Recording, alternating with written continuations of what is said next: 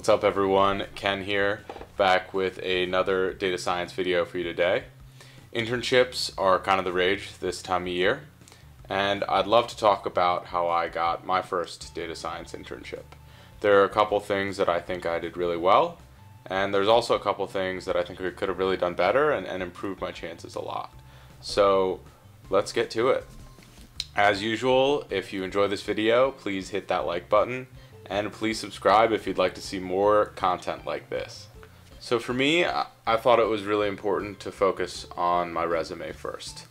One thing I've learned now that I didn't know back then is that it's really important that you just have the necessary technical skills for a specific position. So if a position requires Python and some SQL knowledge, I would put that right up front at the top that you're that your technical skills include Python SQL and anything related to that.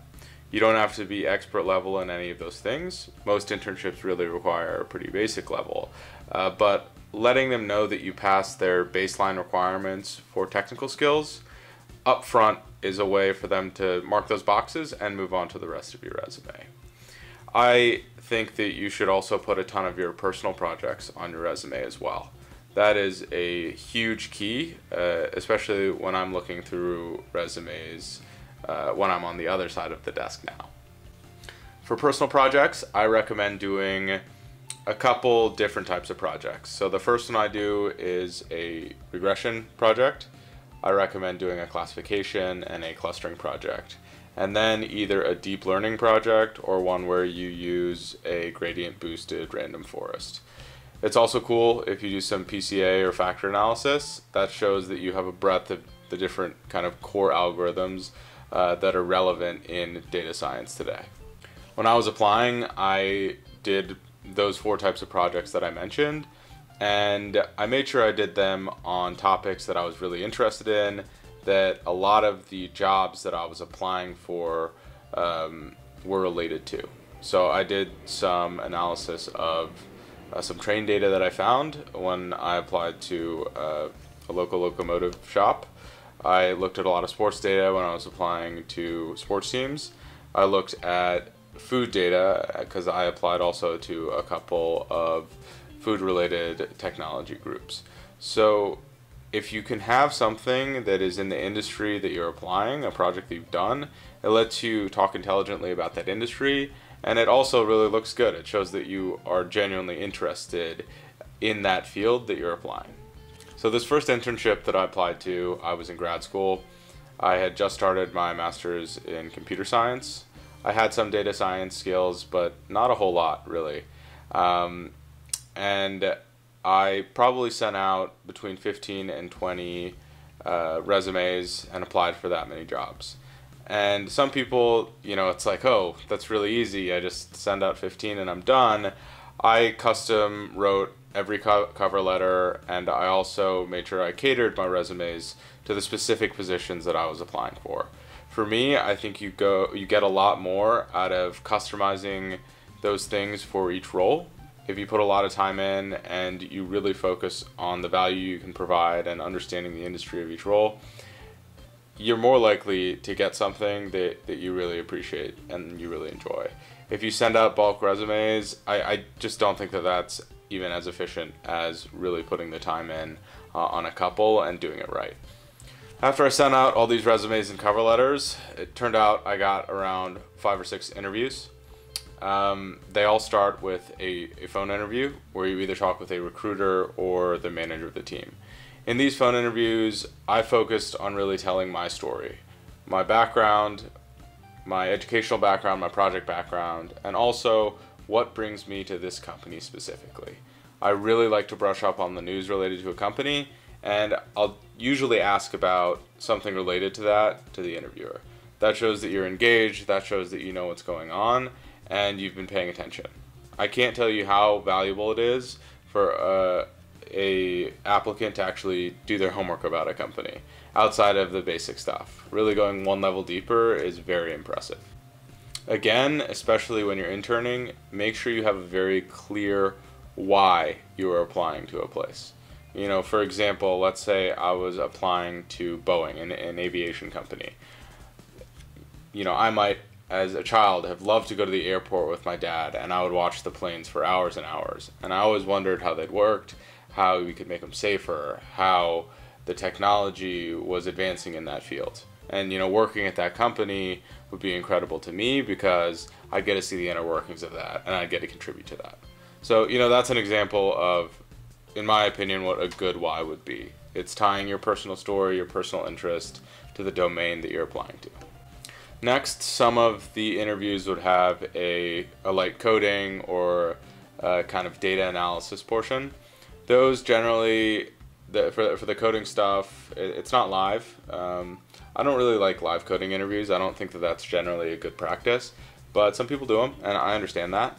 Um, I had to do a couple. I had to work with a couple different data sets, which was was actually pretty fun. You know, you can explore.